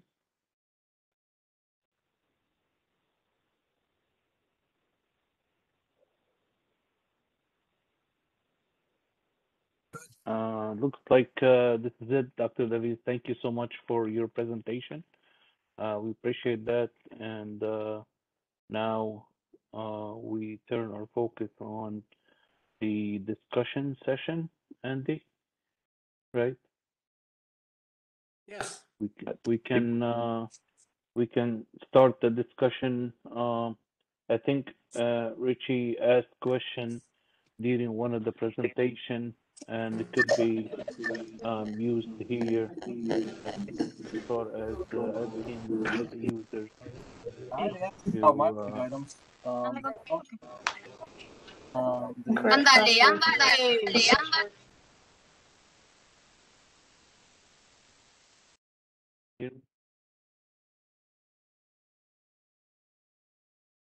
What did we have, Riyad, from, uh, did we have any questions that remain unanswered here? Yes, uh, we have uh, one question. Uh, Richie was asking if any of the users have a V-frame um, that are participating on the conference that to give us some feedback. Yeah, so the reason I asked that is all of our ACCs are all A-frame. And then at one of the plants in uh, northern Nevada, one of the problems that they face is like the high crosswinds. Um, the speeds are up to 25 miles per hour. And then during summer, we're not able to get, you know, enough heat transfer across the ACC where where there's, you know, we have a derate on our units. And I was wondering if the V frame resolves that issue. I mean, looks like it does, but do do you run into issues with low wind speed then with uh, re- recirculation? So, do any of the users have a V frame, and then do you run into issues with low uh, low wind speed? Well, I'm aware of about three uh, V-frames in the US. I'm not sure what might be elsewhere. And I'm not sure if any of those, uh, those operators or users are attending. But there may be some others who've been involved with them.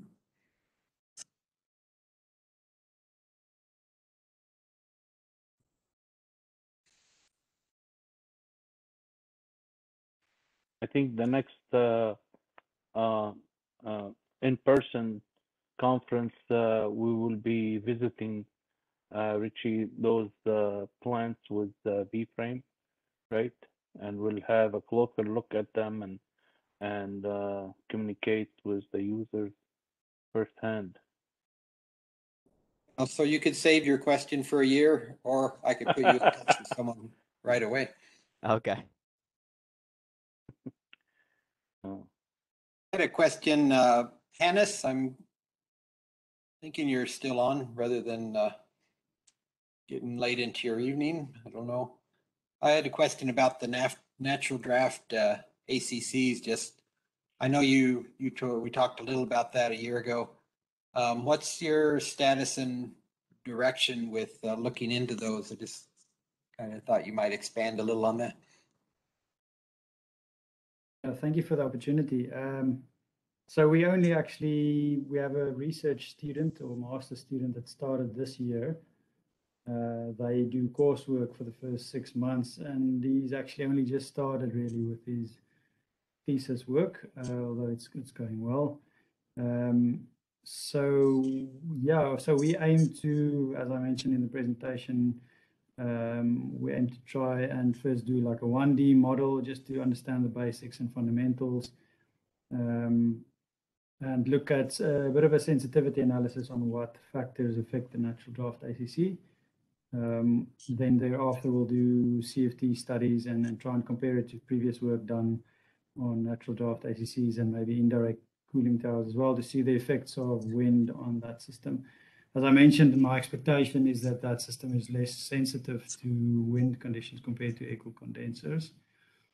Um, and from there, we'll take it forward and look at a bit more um, complex, complex topics um, like transient effects and so forth, which some guys have started to look at. Um, as I mentioned, maybe I can just mention for my colleagues, maybe who are on, online, we there's also some research that's been done on on our side for this A-frame versus V-frame configuration and the effects of low and high speeds um, on on those configurations, which once it's published, uh, we can obviously share. Good, thanks. I'll also remind you all, this is a uh, design and performance session. If you have any, any questions or concerns or would like to uh, communicate any issues you have with, with performance in particulars uh, for operating systems, that this is a good opportunity to ask those questions. Yeah, uh, Andy, I, I have a um, I have a question. I don't know whether it's for for Pretorius or or for for somebody else, but just a general just a general comment. Uh, everybody saw yesterday how the main concern in an ACC is the iron that's generated and uh, transported around the cycle, and uh, and and not only an ACC problem but a total unit problem. And um, I- noticed in uh, Hannes' uh, presentation lots of research activities, but nothing on the tube entries. And I wondered whether he had any comment about, uh, you know, about that in terms of Riyad, in terms of cross fertilization of these little groups that we that we artificially have in uh, in ACCUG. I wondered if there was any uh, any work that could be done. And and Hannes, uh, you may not know, but in in other fields, in in uh, in the HRSGs, which are very often connected to um, to these ACCs, uh, you know, 20 years ago there was the same problem where there was a geometrical effect that was causing that was causing turbulence and resulting in ACs and resulting in FAC. So we have the same thing here, but there's basically been no change whatsoever in in the design of the tube entries uh, and also the cross members. You know, it seems in, inherently wrong to have surfaces that are perpendicular to two-phase flow, and uh, and there must be uh, must be some way that you can make it like a you know a blackbird aeroplane or something that that, that would that would prevent this. And so I wondered whether uh, you or anybody else had any any comment on on you know the research that's needed. It's it's really the prime area in an ACC, causing you know not only in the ACC but in the whole plant. Just a comment. Maybe maybe you have maybe you have a reciprocal comment. Yes, I think um, maybe to start off with, uh, I can say that I, I haven't thought about that in much detail. Um, in terms of research, but it is an interesting thing that you raise. I, I you know, I was always, you know, except for the for the sort of impingement of, of water droplets on the cross members, uh, I was always thinking that the FAC is more of sort of a, chem, a chemical problem. Um, so maybe that was my my mistake. Uh, I, I know from from the Matimba plant, which which GA built in the sort of 80s, 90s, they the, the tubes connect directly to the bottom of this round steam distribution duct and uh, I think in an effort maybe to to try and alleviate some of the high velocities in this area, the, the newer plants like Medupi incorporate uh, sort of a box, a box down from the um, from the steam distribution duct, I think to to lower the velocities. Um, so so from the results I've seen yesterday uh, from Cabello or Sabelo, um, from from the, the, speaker from from Medupi, um, I'm not sure whether he, you know, whether there's whether you can comment on whether there's an improvement between Matimba on that side. Um, so, so Hannes, yeah, thank, thanks. You probably you probably know that I did the uh, I did uh, much of the original work uh, in Eskom uh, before Medupi and and Kusile, and uh, you know there's basically no difference in the design now. And so when we look at FAC, and I can provide you papers, you know, we've written reviews on this but um, you know, the, you have two features. You have the chemistry factor and you have the geometrical factor. So the chemistry is the thing that drives it, but the location of it is it, it, is where the turbulence takes place. And uh, in other in other generating systems, we've been able to get rid of that uh, of that turbulence, and that and you know that's basically that's basically what's needed here. So I want to offer to you from ACCUG that if you need any help or you would like to focus on some uh, on, on one of the biggest problems, then just get back to me, uh, and uh, we can provide you with uh, with the information that's needed. We can provide you the information on FAC, uh, you know what, what whatever you want. But it just seems that uh, I've listened to Riyad's excellent excellent session here on all the things, but but it's missed out on these really important aspects. Okay, uh, thank you for the offer. That's um, that's definitely something to think about, uh, and, and maybe something that we could evaluate, you know, with CFD or some some sort of a uh, analysis. An analysis, yeah. Andy, I, I think I'm sharing a, a slide from a presentation I'll have tomorrow. Um, in case some of you don't make it tomorrow, I thought I'd just show it, but but this shows the the cross members. Uh, the steam is, the flow is going away from us directly toward those cross members. You can see that underneath, uh, there's some interactions that go on directly underneath the, the flow. The steam flow is diverted down. There's a large amount of turbulence and and right under cross members or bars that happen to may happen to be their support bars. Uh, yeah. This is where the the the uh, design could have an influence on on what happens. So. Yeah, so Andy, Andy, this is not only to Hannes. Uh, I, am just using him. Sorry, Hannes, uh, as uh, as uh, as a reason to bring up this discussion because it's the major thing in ACCs that's not been addressed. And you can look uh, at this slide from Andy. Uh, you can look at similar slides that we've shown for the last 20 years and see exactly the same thing. And we still do not know whether these cross, whether the damage on the cross members are due to liquid droplet impingement as I showed yesterday, to the larger droplets, you know, like 20, 30, 40 microns in size, as compared to the damage that's causing the, uh, the at the tube entries, which is, as I showed yesterday, less than a micron.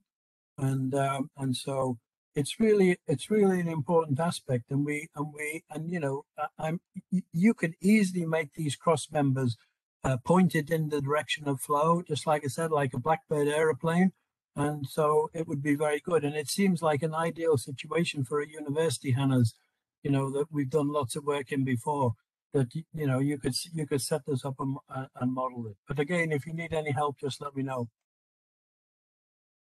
No, thank you. I think that's a good idea. Maybe just something that I can mention is, you know, it, it also takes eventually the contractor to you know, you know, if it's a very fancy aerodynamic shape, you know, he needs to minimize his costs. So if he doesn't think there's a problem, um, you know, he might just stick with a round or a square section. So, but I mean, from a university's perspective, we can certainly have a look at it.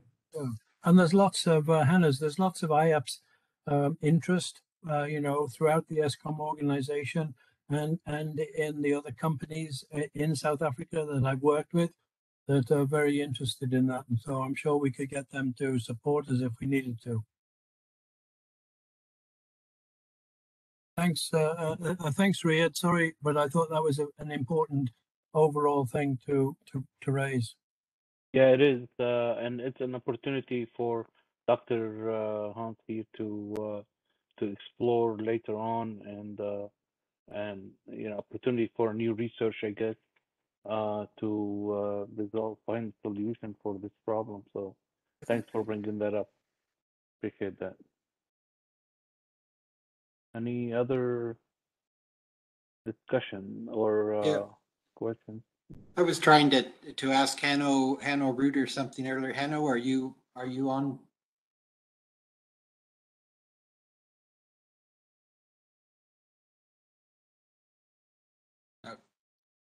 Well, I can check with him separately. We won't be able to discuss it, but I also appreciate Barry's, uh, point about the cross, uh, fertilization and cross interactions. Know, we, we separate this into three categories, but there's definitely issues in operation and maintenance that, that overlap with uh, performance and, and design and chemistry. Every, everything interacts. It's just that we sometimes have more of a focus and what people emphasize. Dr. George Budick has his, uh, his hand raised. I believe he'd like to make a, a comment. All right. Everyone, good afternoon, good evening. Um, I would just like to react to uh, Dr. Bianchini's uh, presentation because I think there are a few open points there, which uh, which are I think are, are important to discuss. So first of all, I would like to confirm that uh, with oh sorry, I am from MVM EGI, which is XNXTO XGEA. So uh, we know a thing or two about the V-frame. And uh, the first thing I, I would like to confirm that the fan stacks of the V-frame, or as an axial calls it, in air, uh, are always much higher, significantly higher than the A-frame ACC. And I think this probably th- this has to be taken account uh, taken into account in, uh, in in in such an evaluation, which has been done. And and when I say significantly, it could be twice as tall or even more than twice as tall. So it's it's it's a big difference. And it it it would probably result in a different result for this evaluation. The second point uh, to uh, to the presentation was I I don't know how many of you have realized there, but the ITD which was considered was 35 Kelvin, 35 degrees centigrade ITD, which is a very high ITD. It's not a typical ITD for ACC projects. So in the past 30 years, the typical ITD of ACC projects has, has reduced significantly. And nowadays, usually I would say a 20 degrees centigrade or 20 Kelvin uh, ITD is realistic. And in my opinion, may, maybe this is not. This is just more of a feeling and than a, than a true opinion. In my in my feeling, this this larger ITD actually favors the airflow through the A-frame ACC in terms of being less uh, susceptible to wind uh, or to, to to the wind effect. I think it is a little bit more favorable to the A-frame ACC. So again, second point it would be very interesting to see the results of the evaluation with a lower ITD, with something more in line with what the ITD with with what the ITDs are of today's projects, like 20 Kelvin. That would be nice to see. My third point is about the one street uh, V-frame ACC. I saw uh, actually in the summary slide this was actually dealt with. So uh, Dr. Bianchini wrote that it would be very interesting to see the results with multiple rows, etc. Again, in my opinion, uh, the V-frame ACC is not a typical one-street ACC, and this is due to structural reasons. So due to structural reasons, uh, Enexio never even offered less than two streets for a V-frame ACC. And the more number of streets you have for a V-frame ACC, the less chance there is for recirculation. Uh, so I think Dr. Bianchini is really going in the right direction, and, and the evaluation was very interesting to see. And the effect of the wind screens, I think that's uh, that's that's incredible. As as we saw two years ago in Mexico, they are applied in ACCs, and and uh, to to with with a good result. Um, it would be super interesting to see the evaluation with these three or or I don't know re redone with these uh, three comments from my side. And and there there was one last thing. Uh, Dr. Bianchini said that he never saw uh, a CFD study uh, of the airflow comparing the A-frame with the V-frame. And Axio has prepared several of these studies, but of course these were presented to to prospective customers and uh, and not to competitors, obviously. But uh, but in any case, uh, I think it was an interesting presentation, and and it would be super exciting to see the results of the evaluation with uh, with these comments. That's that's all from my side. And thanks. Okay, thank you very much Thank for you. these questions. Um, well, first of all, um, obviously, I'm referring to open literature. I cannot, uh, uh, I cannot um, think that my comments are uh, valid uh, uh, for uh, obviously for commercial research that uh, are obviously private. Uh, I would be interested to uh, to look at these uh, these results, of course, uh, and perhaps to to discuss concerning the the three questions. Um, well, the, the the height of the of the V frame is actually higher than the A frame. Uh, perhaps is is not as high as you you mentioned uh, that in your layout is, is usually done, but this is also related to the fact that we only considered one street. So I think first and third question uh, are actually uh, closely related, and uh, obviously with more um, with more streets, the, the layout would be different as well. Concerning the, the, the, steam temperature, as I understand your second question was about, uh, Yeah. if I'm not wrong, uh, yeah, it's a pretty high uh, temperature difference that we have, but mm, I think that the, the the model that we use will not be mm, largely um, affected by using any other uh, temperature difference. Uh, obviously, as I mentioned, we, we are assuming that the, the, heat, the heat transfer on the steam side is substantially as large as we want, and uh, uh, the, the, the, the driving uh, uh, the, the, the bottleneck for the heat transfer remains on the on the air side as long as this uh, assumption is valid, um, the results that we obtain are insensitive to the to the temperature difference. Except for secondary uh, effect as uh, buoyancy, uh, which, however, don't think it will make very substantial uh, changes, reducing the, the temperature difference from 40 to uh, 20, for example. It, it's in 35, experience- as you as you mentioned. Mhm, mhm. We we have we have quite a significant experience with natural draft towers as well as you know, and uh, we found that the the draft of natural draft towers is much more stable with higher ITDs, and this is also true for mechanical draft as well. So generally, the the upwards thermal of of such a large cooling system is Mhm. more stable and as such less susceptible less susceptible to wind gusts uh, with higher ITDs. And this is why I'm saying with the velocity, air velocity being lower with the A-frame ACC, if the the thermal is not as strong, if the temperature difference is not as strong, and with a lower velocity of the A-frame, that's why I said my feeling is it is Mhm. probably more susceptible to wind gusts.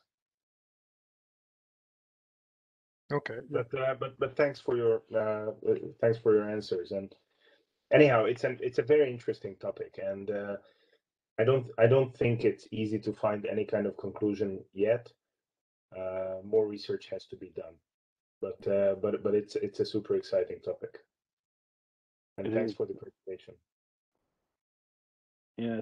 Thanks, Dr. Badik, for for your comments. Uh, of course, as always, we are learning every day, right? And every year, and we see uh, research has been done, and um, it it opened our eyes on uh, more things uh, to come and making the ACC better as well. Of course, we are all learning from this, and it's educational for us. And uh, uh, welcome the opportunity for more on the way.